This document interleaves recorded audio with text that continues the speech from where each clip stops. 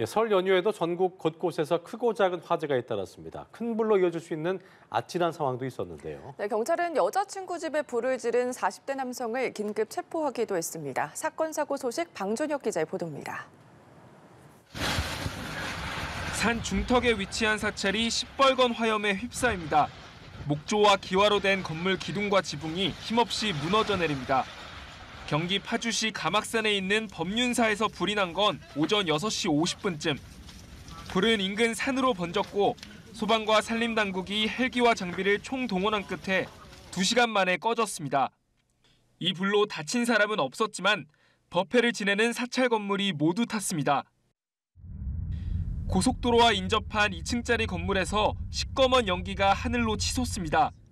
낮 1시쯤 충북 제천시 송악면의 약재 저장 창고에서 불이 났습니다. 건물이 샌드위치 판넬 구조인데다 바람이 강하게 불어 화재 진압에 어려움을 겪었습니다. 그렇죠. 내부 판넬 샌드위치 판넬이니까 속으로 타고 들어가니까 그 포크의 장비로 하나하나 걷어내면서 화재를 진압 중입니다. 앞서 새벽 3시쯤엔 인천의 한 전통시장에서 불이 났습니다. 횟집과 신발가게, 떡집 등 점포 네 곳이 불에 타거나 그을렀습니다.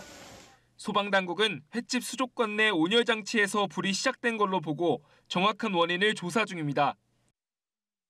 경기 시흥에선 방화 사건도 있었습니다.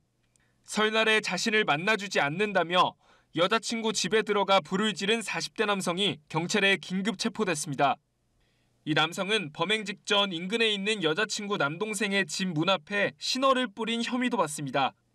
경찰 조사에선 술에 취해 일부 기억이 나지 않는다고 진술했는데 경찰은 CCTV 영상 등을 토대로 정확한 사건 경위를 조사 중입니다. 연합뉴스 TV 방준혁입니다.